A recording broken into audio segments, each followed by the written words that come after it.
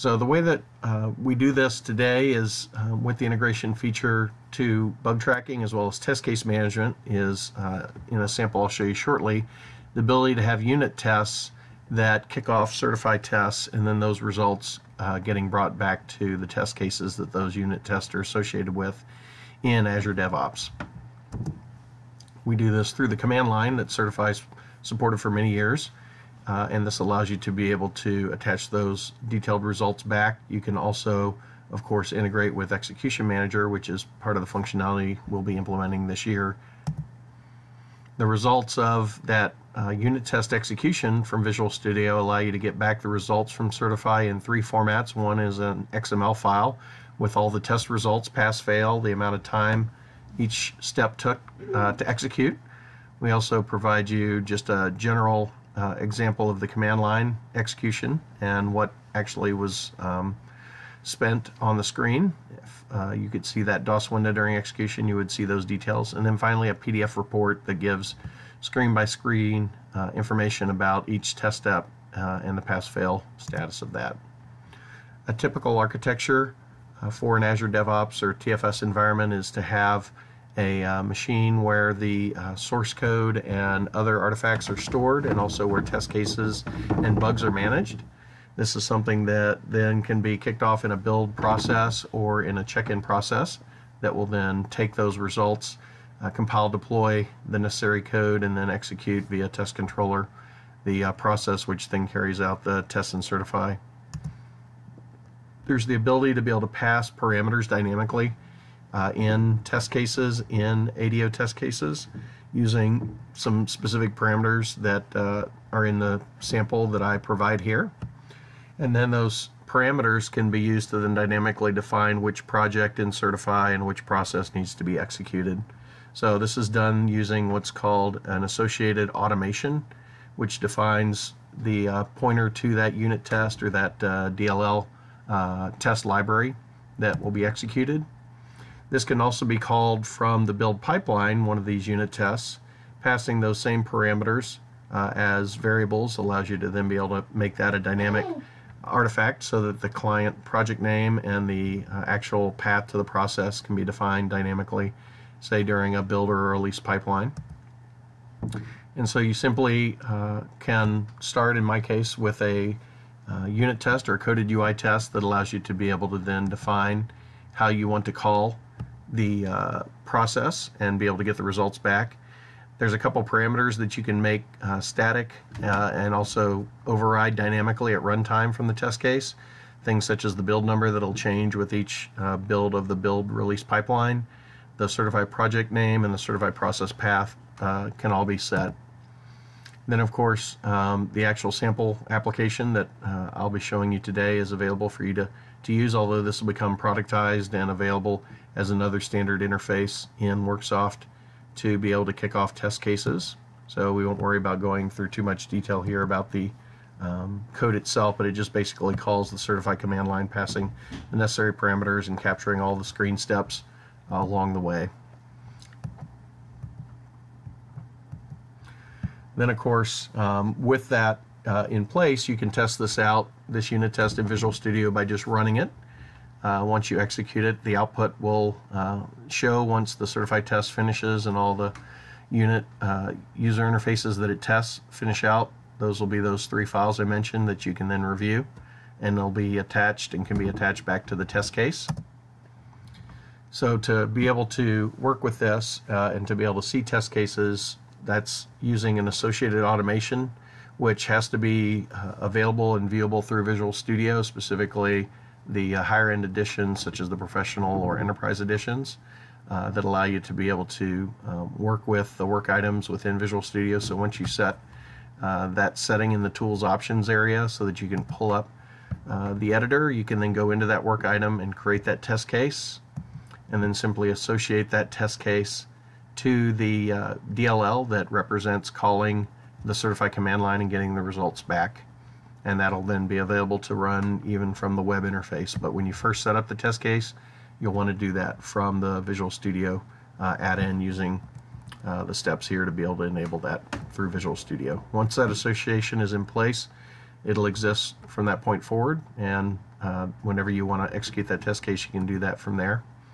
If you want to be able to have Certify run in the cloud uh, in an IaaS instance, infrastructure as a service instance of, uh, of an Azure Windows VM, then uh, here's some articles that can help you with setting that up properly and making sure that you have appropriate access or with the uh, release later this year of the Execution Manager uh, plug-in or add-in uh, extension for Azure DevOps, we'll be able to do that uh, without you necessarily having to work through all that extra infrastructure uh, on the Azure side.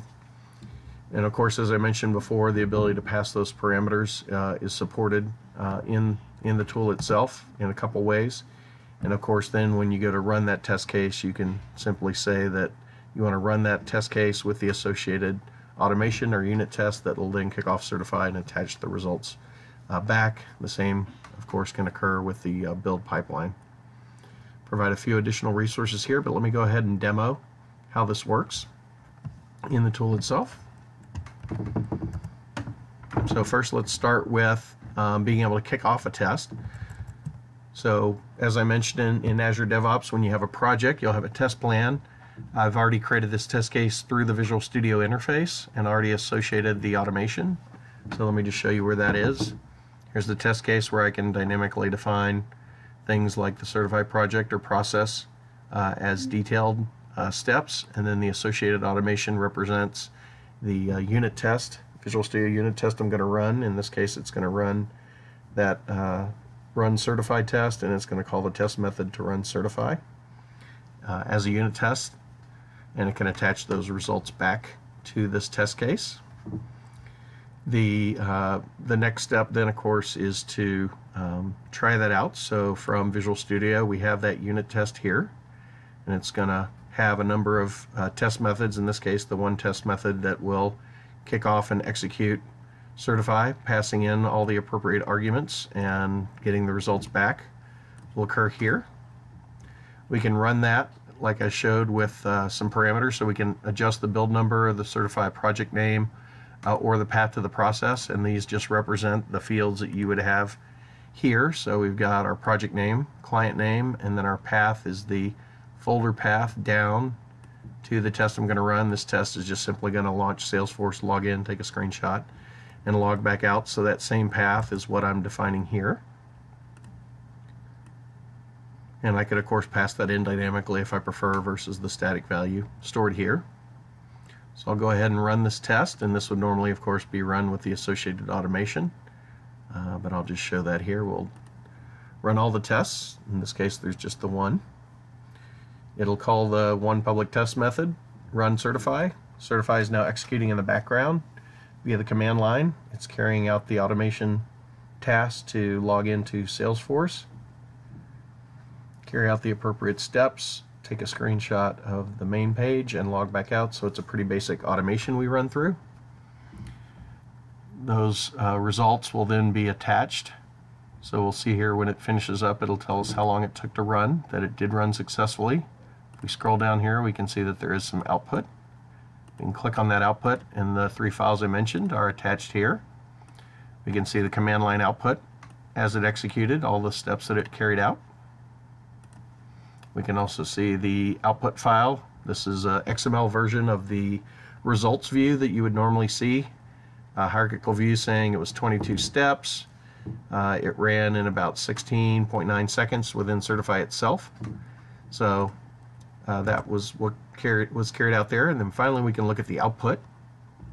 Here we can see the PDF file, the standard sort of output that Certify can generate from the command line with screenshots for every step. So we can see each step as it goes in, logs in, gets to the home screen, takes a screenshot of that current screen and then logs back off. And these exact uh, same details are the same ones that you could of course get from Certify itself. So when it finishes the process, these same kind of results will be available for you to view. Uh, within Certify 2, if you want to, you can see the same amount of time it took to execute if you want to see that same XML file in the friendly results view, you can see it here. You can also parse that XML file if you need that for tracing and reporting purposes. And of course, you could generate the report result uh, details if you wanted to from Certify as well. So the other thing is once you do have an error uh, that happens and you might want to log a bug, how can you do that in TFS? Well, that's an integration that's supported uh, by Visual Studio uh, and, and specifically with with Certify version 10.0.2 and beyond, we added the capability for you to be able to open bugs directly from the Certify results and attach those to Azure DevOps. So the way that we do that is we find one of the scenarios where we have a failure. We can kind of review these different failures, look at the screenshots. Uh, let's say we pick this one where the close failed because there was no browser reference. We can then simply right click and following our setup instructions you can integrate with uh, TFS. Uh, this also of course represents VSTS or ADO uh, since it's all the same technology just with a new term and some new capabilities. So it actually will go in, create the appropriate test case using the Azure DevOps uh, bug REST APIs. It'll actually create a new bug with the title uh, of the uh, error and if there is a screenshot, it'll include those details so you can go in here, of course, set the severity and uh, the other priority and take some additional notes if you need to. And you can see here the screenshot that is also attached and saved with the bug. So this allows you to be able to then have that as another item in your bug tracking database. So I hope that that helped you and makes sense about how we integrate with Azure DevOps and all the capabilities that are supported for Worksoft to integrate with Microsoft Azure and we'll be continuing to add new functionality in the coming months. Thank you.